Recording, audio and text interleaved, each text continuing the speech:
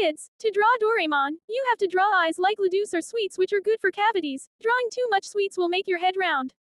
Then we will draw this dumb talkative robot's face. Doraemon has two eyes. Doraemon always tries to be nice. But still it's afraid of cute mice.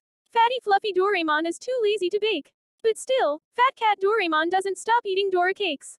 Doraemon has two hands, two legs. Fatco Doraemon needs to take an eating break.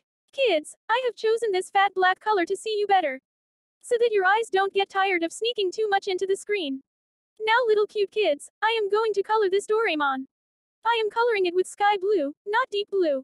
I am avoiding dark colors because I don't want you to feel depressed. Life should feel lighter, not darker. Colors should help you to have more fun. Look kids, here is your favorite cartoon Doraemon. Now, if you have liked the video, please like, subscribe and leave a comment in the comment box, cute kids. I would love to read your cute comments.